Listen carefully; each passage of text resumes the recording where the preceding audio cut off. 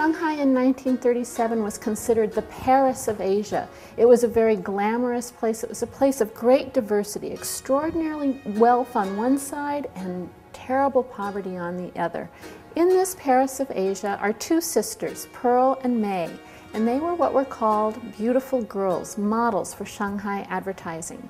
But what they were really selling was this image of a new modern Chinese woman, a woman who was going to transform China. She was well educated and she expected to marry for love, not go into an arranged marriage.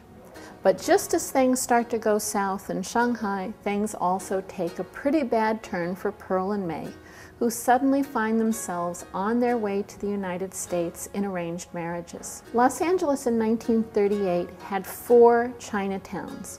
One of them was called China City. It was one square block surrounded by a miniature Great Wall, and inside it was built from the leftover sets from the filming of The Good Earth. So it wasn't very authentic, but it did have a certain amount of charm. Here we are in New Chinatown. Now this Chinatown has been here so long that today they call it Old Chinatown, which really sort of tells you how old I'm getting to be.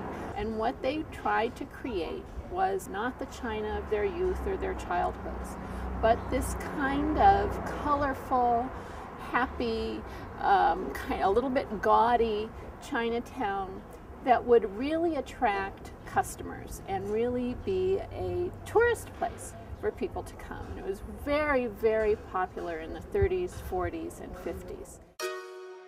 More than anything, Shanghai Girls is a story of sisters. The sibling relationship is typically the longest relationship we'll have in our lifetimes. This is the person who has known you since birth, who should stand by you and support you and love you no matter what. And yet it's also your sister who knows exactly where to drive the knife to hurt you the most.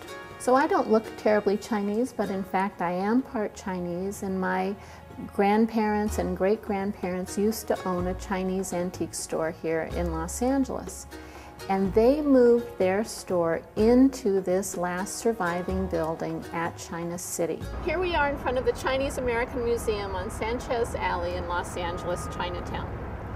About two blocks from here is where Pearl and May first arrive in Los Angeles, and they get off the bus with Sam and they walk down Sanchez Alley to their new home, which is in the Garnier building. I grew up spending a lot of time in this area as a little girl, and to be able to write about Pearl and May here in this house and to create their what their lives were like was really wonderful for me. Emotionally, Shanghai Girls is the closest book to my heart that I've ever written. So many of the places that I wrote about in Shanghai Girls are gone now. And so many of the people that I grew up with are gone now.